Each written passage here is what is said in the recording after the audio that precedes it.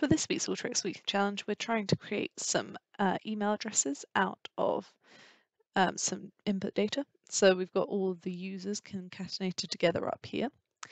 Um, so basically, how can we uh, get usernames, uh, email addresses for these users?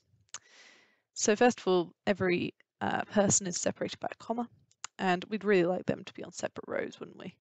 So we use the text columns to split it to rows on commas and then we get these 300 records, which is much nicer. Now we use a little bit of regex because the format of our email addresses that we want to have is their first initial and then their surname. So that's what we'll do. We'll use the parse in the regex tool. Um, so first of all, the first capture group we've got here in brackets is um, just saying I want the first letter that it starts with so that's nice and easy.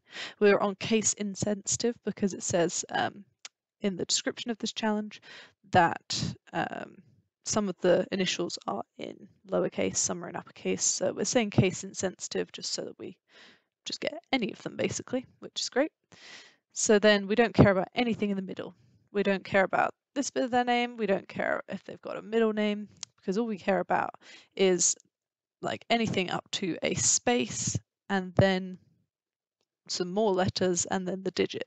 So basically that will be the surname because the surname will always have a space before it and a digit after it.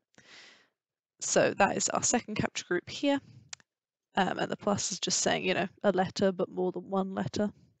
Um, so that's great. And then our last capture group is just saying one or more numbers to get all of those uh, IDs as well, because we know that there's one um, row where there isn't a number present and Therefore, it gives us a null for all of these uh, columns, and we want to filter that out anyway. So that's nice that we've been able to do that.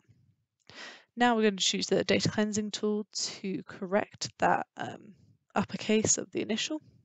We could have just used a formula in the formula tool. Um, I don't know, that's just what came to my head first was the data cleansing tool. Um, so then all that's left to do really is to make up our emails, which is the initial, the last name, and this testemail.com.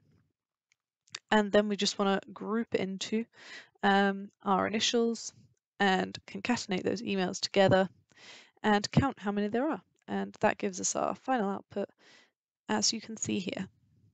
So I hope that was helpful and thanks for listening.